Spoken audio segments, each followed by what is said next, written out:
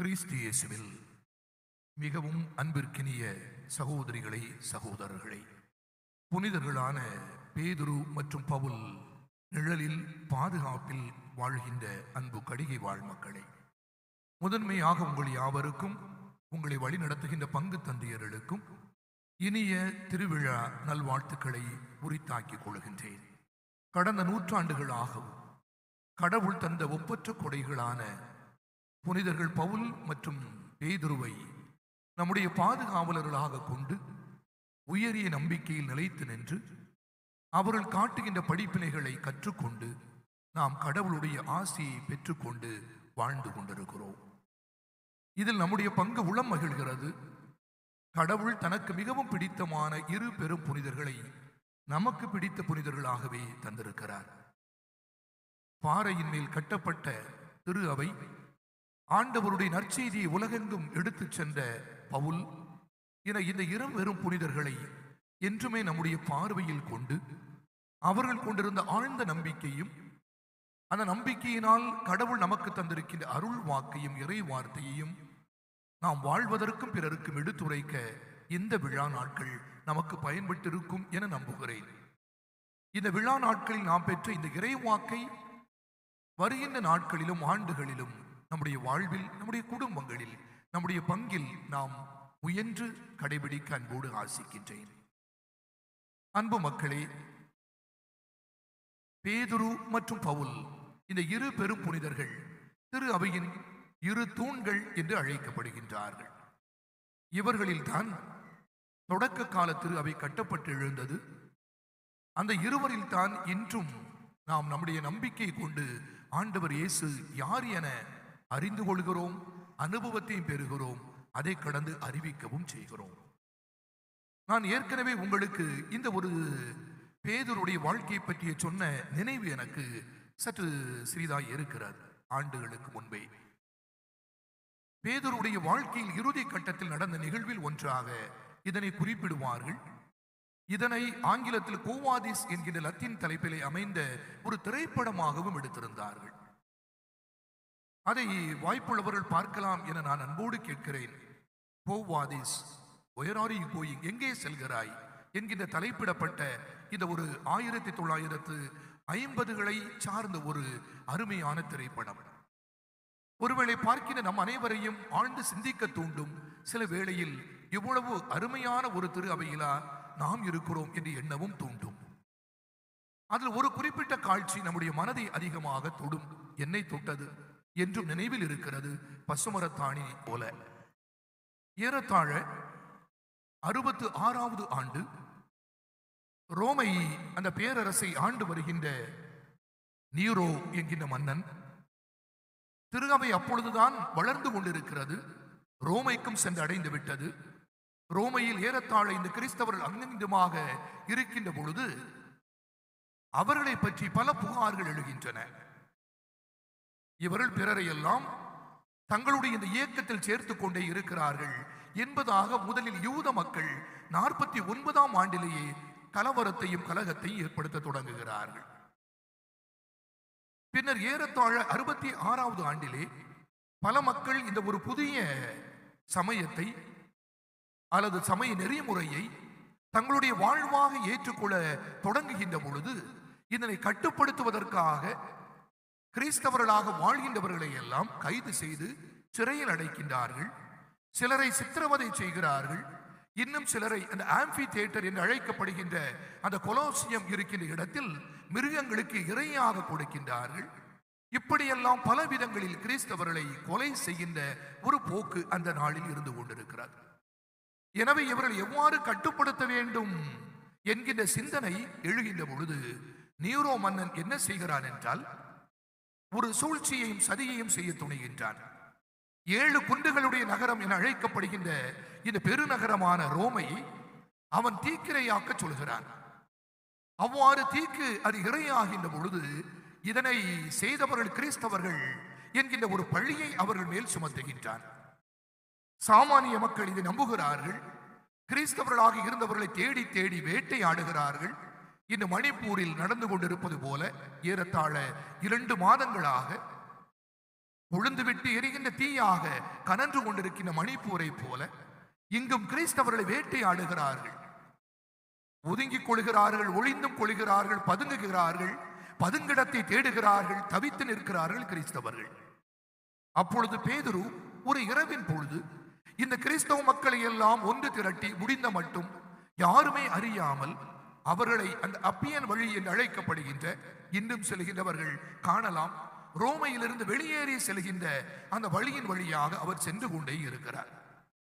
அந்த இரவு பொழுது யாருமே அறியாமல் எந்த காவலருக்கும் தெரியாமல் இவர் தன்னுடைய மக்களை எப்படியாவது காப்பாற்றி விட வேண்டும் என அனைவரையும் அழைத்து சென்று அந்த ரோமையுடைய வெளி வாயிலை அடைகின்ற பொழுது அவருக்கு குரல் ஒன்று ஒலிக்கிறது. எங்கே செல்கிறாய்? இத்தனை மக்களை காப்பாற்ற வேண்டும் என்ற உணர்விலே எப்படியாவது யாருடைய கண்ணிலும் படாமல் அழைத்து சென்று விட வேண்டும் என்ற ஒரு எத்தனிப்பிலே அவர் சென்று கொண்டிருக்கின்ற பொழுது இந்த குரலை கேட்கிறார். எங்கு செல்கிறாய்? சுற்றுமுற்றும் பார்க்கிறார். அது ஆண்டவருடைய குரல் என தன்னுடைய உள்ளத்தில் உணர்கிறார். ஆண்டவரே உம்முடைய மக்களை நான் இவர்களிடமிருந்து காப்பாற்றி பாதுகாப்பான இடத்திற்கு அழைத்துச் செல்கிறேன் என்று சொல்கிறார். மீண்டும் அந்த குரல் ஒலிக்கிறது. அப்படி என்றால் இன்னும் ரோமையில் என்னுடைய மக்கள் இருந்து கொண்டிருக்கிறார்கள். அவர்களை யார் காப்பாற்றுவது? ஒருவேளை இந்த மக்களை அழைத்துக் கொண்டு அவர் சென்றிருக்கலாம். ஆனால் அவர் ரோமையை நோக்கி தன்னுடைய பார்வையை திருப்புகிறார். மக்கள் எல்லாம் அழுகிறார்கள். நாங்கள் சென்று விடலாம் என்று வந்தோம். எங்களை காப்பாற்றி வந்தீர்கள். ஆனால் நீங்கள் மீண்டும் ரோமைக்கு செல்கிறீர்களே என்று கேட்கின்ற பொழுது அவர் சொல்கிறார் நீங்கள் செல்லுங்கள். பாதுகாப்பான இடம் தேடி. நானோ செல்ல வேண்டும். ஆண்டவர் எனக்கு எதை சொல்கிறாரோ அதை செய்ய வேண்டும். அன்பு மக்களே பேதருடைய வாழ்க்கை இதில் தான் அடங்கியிருந்தது. அவர் அவ்வாறு அவ்வாறு சென்ற பொழுது நிகழ்ந்ததை நாம் நன்கு அறிவோம். ரோமை காவலர்களால் கைப்பற்றப்படுகிறார். மரண தண்டனை அவருக்கு விதிக்கப்படுகிறது. அதுவும் சிலுவை தண்டனையாக அமைகிறது. வேண்டாம் வேண்டாம். நான் மிகவும் நேசிக்கின்ற என்னுடைய அன்பரை போல மீட்பரை போல. நான் சிலுவையில் அதே போன்று அறையுற தகுதியற்றவன். எனவே அவருக்காக என்னை தலைகீழாக கூட அறிந்து கொள்ளுங்கள் என்று கேட்டுக்கொள்கிறார் அன்பு மக்களே பேதருடைய வாழ்க்கை ஆண்டவருடைய வார்த்தை எது சொல்கிறதோ அதை செய்வதில் தான் ஒட்டுமொத்தமாக அடங்கியிருந்தது. அவர் தவறி இருக்கலாம் வீழ்ந்திருக்கலாம் தடுமாறியும் இருக்கலாம் சில வேளைகளில் தயக்கமும் காட்டி இருக்கலாம். ஆனால் ஒரு பொழுதும் ஆண்டவரை விட்டுவிட்டு அவர் விலகி சென்றவர் அல்ல. லூகா நற்செய்தியின் ஐந்தாம் அத்தியாயம் ஒன்றிலிருந்து பனிரெண்டு வரைக்கும் பதிவிடுவது போல பேதுருவை அழைக்கின்ற பொழுது ஆண்டவர் இயேசுடைய அந்த குரலை கேட்கின்ற பொழுது முதன்மையான அந்த வல்ல செயல்களை காண்கின்ற பொழுது எதிர்பாராத நிலையில் அவர் எதிர்பார்க்காத வகையில் மீன்கள் அதிகமாக அகப்படுகின்ற பொழுது ஆண்டவருடைய காலில் விழுந்து தயவு செய்து என்னை விட்டு போய்விடும். நான் பாவி என்றுதான் அவர் முதலில் சொல்கிறார். ஆனால் ஆண்டவர் சொல்லுகின்ற வார்த்தை அவரை கடைசி வரைக்கும் அவர் பின்னே அழைத்து சொல்கிறார். இதுவரை நீ மீன் பிடிப்பவனாக இருக்கிறாய். ஆனால் மீன்களை அல்ல இனிமேல் நான் மனிதரை பிடிப்பவனாக உன்னை மாற்றுகிறேன். எனவே என்னை பின் செல் அதிலிருந்து ஒரு பொழுதும் தவறாது இந்த ஆண்டவரையை தேடி தேடி தேடி சென்றவர்தான் புனித பேதுரு. இன்னொரு இடத்தில் அருமையாக சொல்வார் ஆண்டவர் இயேசுவோடு இருந்த சீடர்கள் பலர் அவரை விட்டு சென்று விட்டார்கள். என்னுடைய உடல் நீங்கள் உண்கின்ற உணவு என்று சொல்கிறார். உயிர் தரும் உணவு என்று சொல்கிறார். என்னுடைய இரத்தம் நீங்கள் குடிக்கின்ற பானம் என்று சொல்லுகின்ற பொழுது அவரை பின் சென்ற சீடர்கள் பலர் இது எப்படி சாத்தியமாகும்? எனவே அவரை விட்டு பிரிந்து செல்கிறார்கள். ஆண்டவர் தன்னுடைய முகத்தை சீடர்கள் பக்கம் திருப்பி கேட்கிறார் நீங்களும் சென்றுவிட நினைக்கின்றீர்களோ? யாருமே பேசாத பொழுது பேதொரு முன் வந்து பேசுகிறார் ஆண்டவரை நாங்கள் யாரிடம் செல்வோம்? வாழ்வு தரும் வார்த்தைகள் உம்மிடம் அன்றோ உள்ளன. இன்னும் நம்முடைய உள்ளத்தில் என்றுமே ஆண்டவரை பற்றி கொள்கின்ற எழுகின்ற இறைவேண்டலாகவே இது இருக்கிறார் நாங்கள் யாரிடம் செல்வோம்? வாழ்க்கையில் கவலை நேரிடுகின்ற பொழுது கண்ணீர் சூழ்கின்ற பொழுது எதுவுமே இல்லையே என்று நாம் அங்கலாய்க்கின்ற பொழுது எல்லாரும் கைவிட்டு விட்டார்களே கடவுளே என்று நிற்கின்ற பொழுது ஐயமில்லாமல் இந்த கடவுளை நம்புவதற்கு இந்த பேதுரு கற்றுத்தந்த அருமையான இறைவேண்டல் நாங்கள் யாரிடம் செல்வோம் ஆண்டவரே. வாழ்வதரும் வார்த்தைகள் உம்மிடமே உள்ளன. இதுதான் இந்த பேதுரு அன்பு மக்களே உங்களுக்கு எனக்கு இனி வருகின்ற எல்லா காலத்திலும் கிறிஸ்துவை பின் செல்ல வேண்டிய சீடர்களுக்கு கற்றுத்தருகின்ற அருமையான இறைவேண்டலாக இருக்கிறார் எல்லா சீடர்களும் விட்டுவிட்ட பொழுது அவரும் அவரை மறுதலித்தார். அறியவில்லை என்று அவரை சொன்னார். ஆனால் இந்த ஆண்டவர் தனக்காக இறந்த பிறகு அந்த ஆண்டவரை இறுக்கமாக பற்றி கொண்டார் நெருக்கமாக அவரை பின் சென்றார். எனவேதான் விவிலியத்தின் நற்செய்தியின் இறுதி பகுதியாகிய யோவான் இருபத்தி ஒன்றாவது அத்தியாயத்தில் பேதுருவும் ஆண்டவரும் உரையாடுகின்ற அந்த அற்புதமான அனுபவ காட்சி நம்முடைய கண் முன்னே இருக்கிறது. திபெரிய கடல் சீடர்கள் மீன்பிடித்துக் கொண்டிருக்கிறார்கள். ஆண்டவர் அங்கு வருகிறார். அவர் ஆண்டவர் தான் என்று அவர் அன்பு செய்த சீடர் யோவான் சொல்கிறார். பேதுரு எதை பற்றியும் கவலைப்படாமல் கட்டியிருந்த துண்டை இடுப்பிலை கட்டிக்கொண்டு உடனடியாக அவர் கடலில் குதித்து ஆண்டவரிடம் வந்து நிற்கிறார். வாருங்கள் உணவருந்துவோம் என்று சொல்கிறார். ஆண்டவரோடு உணவருந்துகிறார்கள். இறுதியான அந்த பகுதியில் அருமையாக யோவா நமக்கு சொல்கிறார். பேதிருவிடம் ஆண்டவர் கேட்கின்ற மும்முறை கேட்கின்ற ஒரே கேள்வி மற்ற எல்லாரையும் விட யோனாவின் மகனான சீமோனை நீ என்னை அன்பு செய்கிறாயா? ஆண்டவரை உமக்கு தெரியுமே என் ஆடுகளை நீ மெய். யோனாவின் மகனான சீமோனை இவர்கள் எல்லாரையும் விட நீ என்னை அன்பு செய்கிறாயா? ஆண்டவரே உமக்கு தெரியுமே என் ஆடுகளை கண்காணி. மூன்றாவது முறையாகவும் ஆண்டவர் கேட்கிறார் யோனாவின் மகனான சீமோனை நீ என்னை அன்பு செய்கிறாயா? பேதருவும் கலக்கமுற்றவராய் ஆண்டவரிடம் சொல்கிறார் உமக்கு எல்லாம் தெரியுமே. நான் உம்மை அன்பு செய்கிறேன்.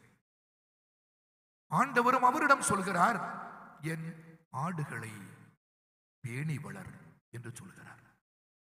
இதுதான் பேதுருவிடம் அவர் சொன்ன இறுதியான வார்த்தை. மூன்று முறை மறுதலித்த பேதுரு மூன்று முறையும் ஆண்டவரே நான் உண்மை அன்பு செய்கிறேன் என்று அவரிடம் ஆண்டவர் கேட்டறிந்து அந்த பேதுருவை திரு அவையின் தலைவராக தந்திருக்கிறார்.